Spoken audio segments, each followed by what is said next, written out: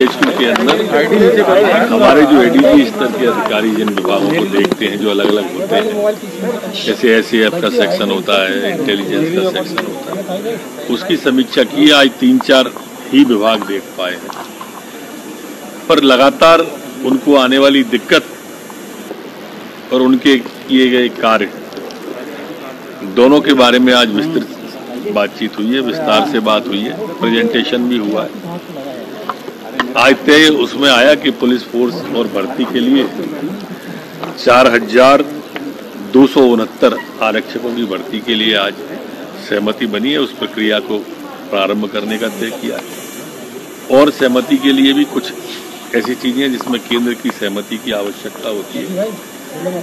उस सहमति के लिए भी केंद्र को प्रस्ताव भेजने का आज तय किया है।